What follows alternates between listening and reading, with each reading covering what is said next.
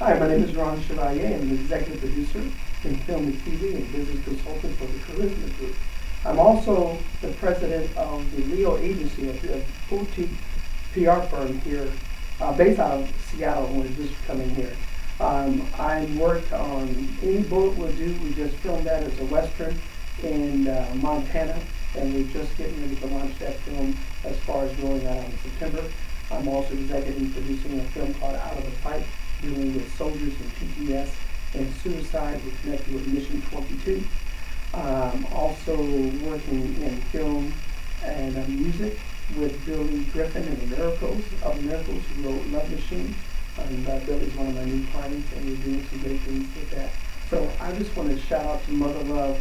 That was one of the most amazing radio personalities that I've ever experienced. I've done radio and uh, before, and just the synergy and the energy she she is so real. So Mother Love, I appreciate you. Thank you for having me on the show. I'm looking to do several shows with you, and maybe we should talk about your TV show together.